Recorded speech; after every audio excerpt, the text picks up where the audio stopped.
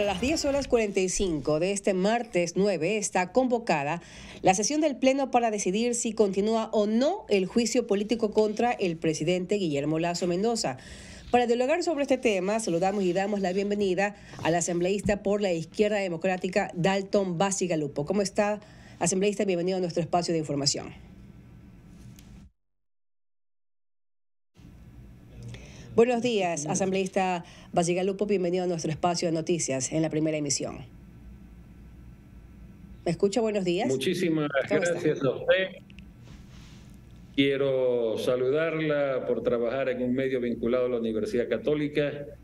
Quiero hacerle conocer a usted que yo fui un dirigente muy completo en mi carrera universitaria en la Universidad Católica como dirigente estudiantil que he sido igualmente catedrático de esta universidad querida y que me desvinculé de ella cuando me vine a vivir a la Sierra Ecuatoriana para, por actividades particulares, pero que guardo para la Universidad Católica pues un profundo sentimiento de gratitud. Así que me place estar con usted. Me place estar con usted. Siempre será asambleísta entonces UCSG, desde su corazón.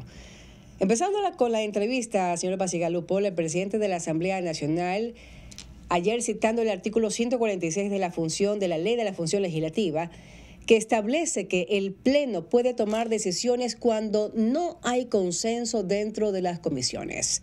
Entonces, le pregunto a usted, ¿de qué sirvió todo este proceso que primero pasa por eh, la Corte Constitucional, luego pasa por la Comisión de Fiscalización este informe justamente que recomienda o no el juicio político y finalmente la Comisión no recomienda el juicio político. ¿De qué sirvió tanto tiempo invertido por parte de ustedes los asambleístas? Mire, efectivamente, pues llegamos a esta situación eh, curiosa de que se ha hecho pues un montaje politiquero respecto de una acusación sin fundamento al presidente de la República, se ha pues distraído al país, se lo ha puesto en zozobra, porque no es nada menor pues el pretender destituir pues a un jefe del Estado. Y qué le digo, pues eh, llegamos a esta circunstancia infeliz de que la Comisión de Fiscalización de la Asamblea Nacional incumple una obligación legal que no puede ser tolerable. Hablo del incumplimiento. Porque el artículo 91 de la Ley Orgánica de la Función Legislativa le ordena a la Comisión de Fiscalización remitir un informe. No le está disponiendo que remita cualquier cosa, que remita un borrador, que remita un informe de mayoría, otro de minoría, o que remita pues las posiciones de cada uno de los vocales de la comisión al Pleno.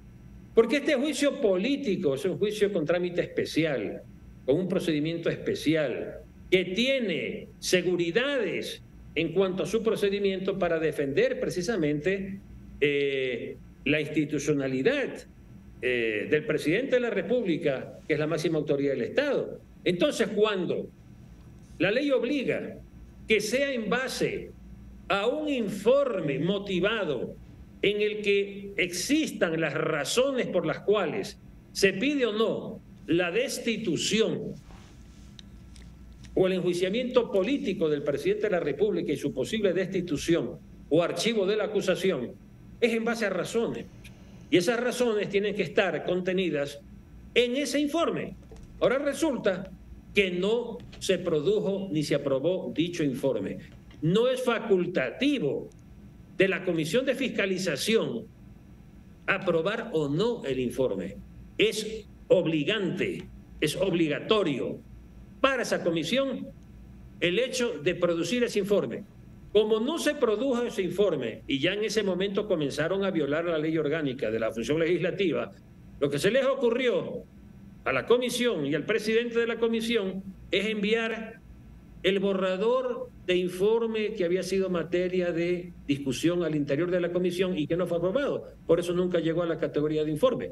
Entonces lo que tiene en sus manos el presidente de la Asamblea Nacional es un borrador de informe sobre el cual no se puede pues, sustentar un juicio político.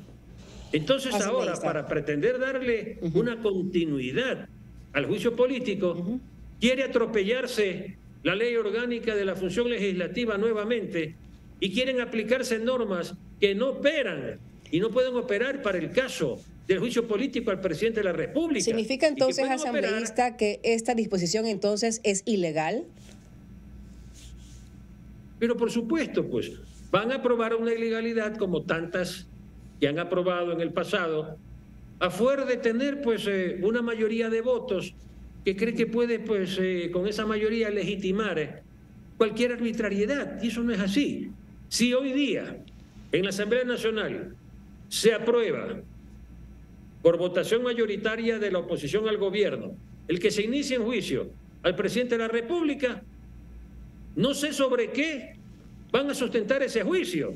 Porque cualquier asidero que quieran tener para justificarlo no está consagrado pues en la ley. Asambleísta, Entonces, simplemente esto será un, procedimiento viciado y por ende será un procedimiento nulo. Asambleísta básica, Lupo, lo interrumpo. El, presidente de la Asamblea, Virgilio Saquicela, mencionó que este informe no procede jurídicamente. Entonces, ¿por qué van a votar ahora en base a qué informe o quizás algún informe de minoría que quizás ya lo tienen bajo el tapete? ¿Qué es lo que se presume que van a votar ustedes hoy día en la Asamblea Nacional, convocados hoy a las 10 horas 45? No sé qué se les ocurra, pues a la, a la mayoría al interior de la Asamblea Nacional. Lo que ellos van a pretender es aplicar un artículo que se aplica cuando las comisiones normales en su ejercicio legislativo y de fiscalización no, no llegan a establecer informes de mayoría o de minoría para efectos de que no se queden pues eh, truncos los procesos en esas comisiones por no haber pues la mayoría. Entonces, por eso existe el artículo 142. Pero el caso del juicio político al presidente de la República, no, es un caso especialísimo porque es un juzgamiento especial con un procedimiento especial. Entonces, no se puede, no se puede adaptar normas de orden general al caso específico de un juicio político al presidente de la República, que está constreñido muy severamente al hecho de que si no hay un informe de la comisión de fiscalización, no procede el juicio político al presidente de la República. Asambleísta, a propósito que usted menciona el artículo 142, 142 este menciona lo que, lo que responde a las votaciones. Brevemente, coméntenos en qué consiste el mismo.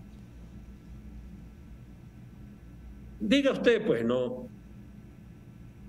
Eh, se analiza un proyecto de ley en una comisión y resulta que se necesitan seis votos Hablo por decir la Comisión de Justicia a la que yo pertenezco, donde hay 10 miembros, y la mayoría son seis votos. Es decir, usted si no tiene los seis votos, no está aprobado ningún informe. Entonces resulta que en esa comisión hay un informe de cinco votos y hay otro informe de cuatro votos. Pero ninguno de los dos pues llega a los seis votos, pues, que legalmente se necesitan para aprobar el informe. Entonces no hay ningún informe aprobado. En ese caso, es que vencido el plazo ya de actuación en la comisión y no habiendo otra salida, existe el artículo 142 para que resuelva ¿no? el, eh, el Pleno Legislativo, darle una salida a este entrampamiento. Pero eso es una cosa. Igualmente, en el caso político, en el caso de juicio político, un ministro, podría ser que haya más votos recomendando la destitución y menos votos eh, recomendando el archivo, pero sin alcanzar el número de votos que permita aprobar efectivamente un informe de mayoría. Puede haber mayoría de votos, pero ese informe no está aprobado oficialmente como informe de mayoría. ¿Cuántos votos? Eso pues puede pasar al Pleno para que continúe. Lo este que no es el caso. Lo interrumpo, discúlpeme que lo interrumpa. En sí, ¿cuántos votos se necesita hoy? Se habla de 70 votos, se habla de una minoría, incluso hasta de 36. Incluso se habla de que si se presentan Tanta, tanto porcentaje de asambleístas votando a favor, esto prácticamente eh, da paso al juicio político del presidente Lazo. Ya le digo, entre ellos mismos no se ponen de acuerdo cuál es el número que conformaría una mayoría, porque la mayoría normal pues es de 70, pero también hay unas mayorías simples que se imponen con una mayoría de votos dentro del eh, establecimiento del quórum, es decir, supongamos que hay 70 votos, dan el quórum de la sesión. Una mayoría simple es 36, 37 votos. Entonces, están ahí interpretando de cualquier manera. Ya el asunto de fondo ya no es eso, porque de cualquier manera igual van a imponer su voluntad. De cualquier manera la van a imponer, porque esa es la actitud que le digo, pues abusiva de esta mayoría que sabe que de cualquier manera logrará tomar una decisión el día de hoy, pero ya desde el día de hoy entonces el país tendrá que saber que se está violando nuevamente la ley y la constitución de la República, porque esa decisión sería ilegal e inconstitucional. Asambleísta, para finalizar, ayer Pachacutic a través de eh, Salvador Quispe mandaron un comunicado mencionando que votaremos por la continuidad del juicio político y la destitución del presidente Guillermo Lazo. ¿Cuál es la postura de la izquierda democrática representada por, usted como vocero? Ve, le digo, eh, nuestro partido se reunió el día de ayer y la posición de izquierda democrática es la de votar abstención el día de hoy. Asambleísta, gracias por habernos acompañado en esta mañana. Un abrazo a ustedes, muchas gracias.